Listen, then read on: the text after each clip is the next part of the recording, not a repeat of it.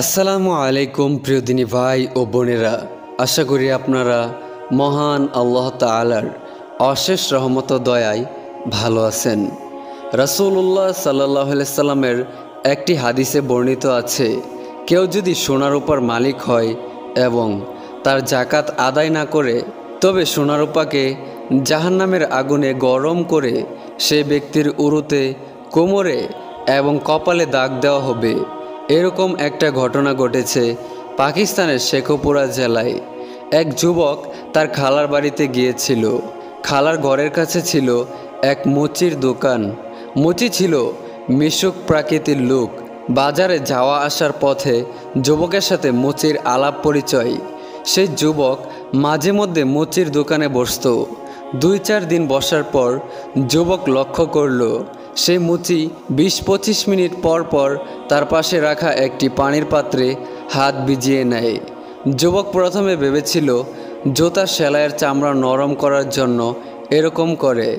তাছাড়া আঙ্গুল ডোবানোর সময় শো করে এমন শব্দ হয়, গরম লোহা পানিতে ডোবানোর সময় যেমন শব্দ হয়ে থাকে। যুবক জানায় মুচিকে আমি আঙ্গুল পানিতে ডুবানোর কারণ জিজ্ঞেস করায়, সে এড়িয়ে যেতে চাইল। বারবার অনুরোধ করায়, সে জানালো, আমার মহল্লার একজন অন্ধ হাফেজ থাকতো। সে হাফেজ আমার নিকট টাকা, পয়সা, আমানত হিসাবে জমা রাখত।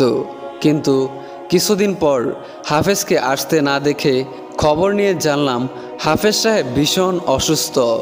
আমি তাকে দেখতে গেলাম এবং জিজ্ঞাসা করলাম আপনি তো মরে যাচ্ছেন, কিন্তু আপনার টাকা পয়সা কি করব। হাফেজ বলল, তুমি টাকা পয়সা তোমার কাছে রাখো। যদি আমি মরে যাই, তবে কবর দেওয়ার সময় টাকার থলে আমার মাথার কাছে রেখে দিও। হাফেজ পরদিন মারা গেল। তার দাফন কাজে আমি অংশ নিলাম এবং তার কথা মতো টাকার থলে মাথার কাছে রেখে দিলাম। গভীর রাতে চিন্তা করলাম, কবরে টাকা রাখায় কোনো লাভ নাই। খামাখা উই পোকা খেয়ে ফেলবে। আমি তো হাফেজের শেষ ইচ্ছা অনুযায়ী তার লাশের পাশে টাকা রেখে দিয়েছি। এখন যদি বের করে আনি, কোনো ক্ষতি হবে না। এরকম চিন্তা করার পর টর্চ এবং কোদাল নিয়ে কবরস্থানে গেলাম এবং কবর খনন করলাম। লাশের উপর টর্চ লাইট জ্বালিয়ে দেখি মুখ বন্ধ করা থলে একপাশে খালি হয়ে পড়ে আছে। থলের ভিতরে রাখা টাকা হাফেজের দেহের উপর বিশেষভাবে ছড়িয়ে রাখা হয়েছে। আমি কবর বন্ধ করে চলে আসতে চাইলাম। হঠাৎ মনে হলো, এত কষ্ট করে যখন কবর খনন করেছি, অন্তত একটা নোট নিয়ে যাই। এ কথা ভেবে ডান হাতের বৃদ্ধাঙ্গুলি একটি নোটে লাগানোর সাথে সাথে মনে হলো, আমার হাতে বিষাক্ত সাপ দংশন করেছে।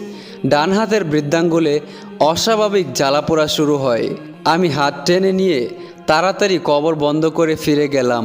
ঘরে ফেরার পর কঠিন অসুখ দেখা দিল। সুস্থ হবার পরও ডান হাতের বৃদ্ধাঙ্গুলে জ্বালা পোড়ার যন্ত্রণা ভালো হয় না। চিকিৎসায় বহু টাকা ব্যয় করেছি। তবে আঙ্গুল পানিতে ডুবালে শু করে শব্দ হবার পর কিছুটা আরাম অনুভব করি।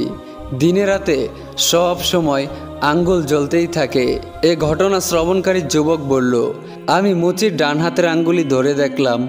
আঙ্গুল ভীষণ গরম। যেন আগুন ছুঁয়েছি। এরকম মনে হলো। তার আঙ্গুল ছোঁয়ার পর আমার হাতও দীর্ঘ সময় জ্বলতে লাগল। বিস্ময়কর এই ঘটনায় আমি প্রভাবিত হলাম।